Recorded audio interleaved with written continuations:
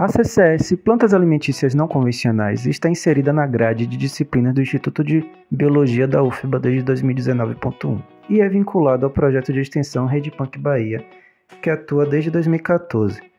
Como uma CCS, ela tem como objetivo integrar o conhecimento que está fora da universidade com o que está dentro, se tornando uma ferramenta poderosa de informação e construção de conhecimento.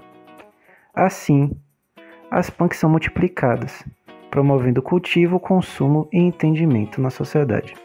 Visando ser esse multiplicador, o componente se constrói com parcerias com agricultores e comunidades rurais, participação em feiras, construção de hortas, além de elaborar propostas didáticas que promovem ações para o público geral. A partir de 2020, devido à pandemia, buscou outras formas de manter a interação entre a comunidade e estudantes, principalmente a partir das redes sociais.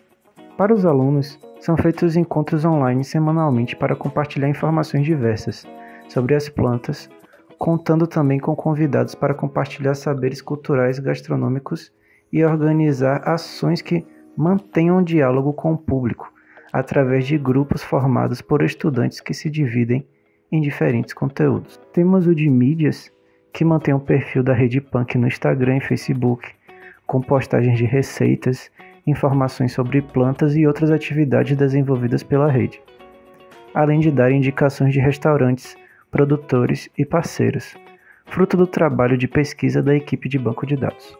Nós, do grupo de YouTube, buscamos trazer vídeos variados e informativos sobre punks e seus usos e cultivos. Ainda o blog da Rede Punk Bahia, que além de contatos de produtores e parceiros, abriga a maior parte de conteúdo dos grupos como por exemplo os episódios do podcast, receitas elaboradas pela turma, materiais didáticos e uma vasta biblioteca com artigos e livros relacionados ao assunto.